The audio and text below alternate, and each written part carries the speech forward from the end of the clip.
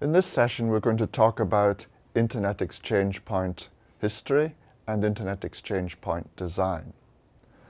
And before we go into the design details, I'd like to take a little bit of a review of where the Internet Exchange Points came from. This is not a complete history, but it's intended to show where the Internet Exchange Points came from and why they were considered to be so important back in the earlier days of the Internet, and why today we simply cannot live without them. So if we start back in the late 80s, there was the National Science Foundation Network, which was one major backbone. It was very much the Internet as it was known back then. It was funded by the United States National Science Foundation, and it connected academic and research institutions together on this early network infrastructure. It also connected a few private company networks under an acceptable use policy at various network access points across the United States. And the acceptable use policy was very strict. It said no commercial activity. And we'll come back to this. There were four network access points, one in Chicago run by Ameritech, one in New York run by Sprint, one in San Francisco run by Pacific Bell, and one in Vienna, Virginia run by MFS. You'll note that these four operators were all major telecom providers in the United States. As the internet developed, private companies needed to interconnect their networks too. They could certainly access the NSFNet through these network access points, but these network access points prohibited the use of commercial traffic across the interconnect. So they could not use the NSFNet. For example, a commercial operator on the east coast of the United States wanting to talk to a commercial entity on the west coast of the United States could not cross the NSFNet. They needed their own way of getting there. This resulted in the first commercial ISPs being formed, and of course, it resulted in the first commercial internet exchanges being created as well. The two best known were CIX West, which was on the west coast of the United States in the Bay Area, and there was MAE East on the east coast of the United States in Virginia. Along with these, the Routing Arbiter project was created to help with the coordination of routing exchange between providers. Traffic from ISP-A needed to get to ISP-B, and the routing arbiter helped document the policy used to achieve this. The routing arbiter is no more, and it's long since been superseded by today's Internet Routing Registries, the IRR. In fact, the RADB is well known to many operators today, and it is the only remnant of this routing arbiter project. The end of the NSFNet in 1995 meant the move towards full commercial internet. Private companies were selling the bandwidth in North America and Europe and in parts of Asia. The network access points established late in the NSFNet life were some of these original exchange points. The issue was the NAP operators were providing commercial internet access as well.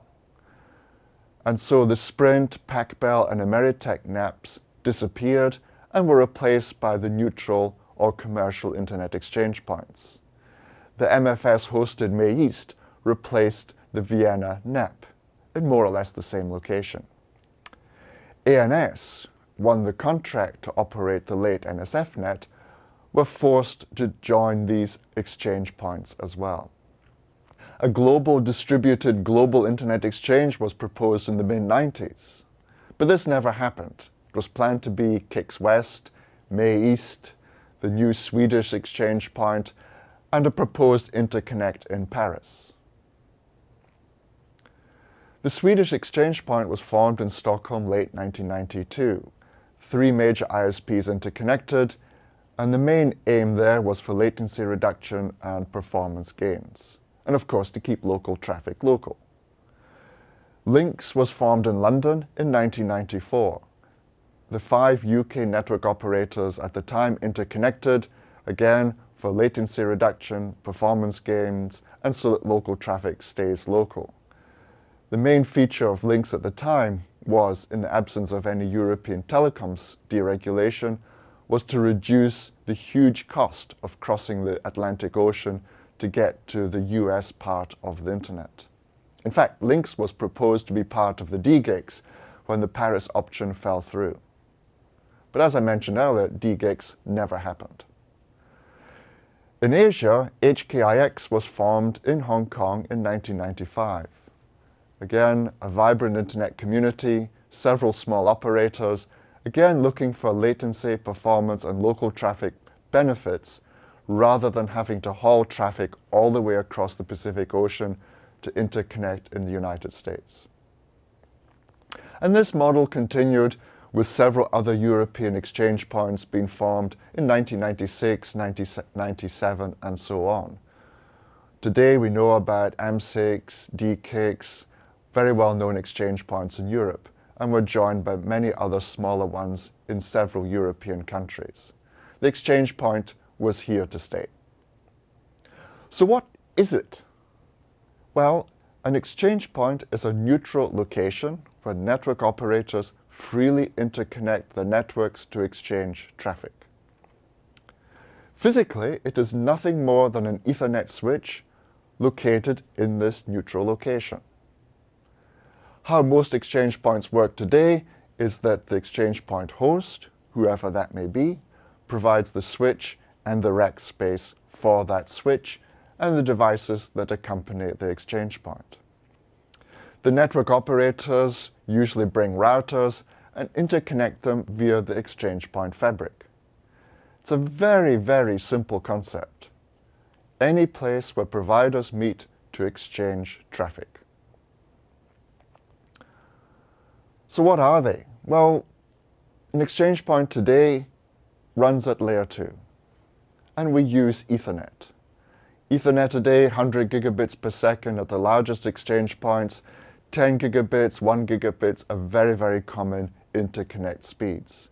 100 megabits, we're seeing less of as the 1 gigabit te technology becomes so readily available on even the low-end managed switches. There were several other technologies used for exchange points in the past, including ATM, frame relay, SRP, FDDI, and SMDS. I'll leave that as an exercise to you to look them up in your history books. There were also layer 3 exchange points, and this is now historical as well. It was router-based, and the best known example was CIX West.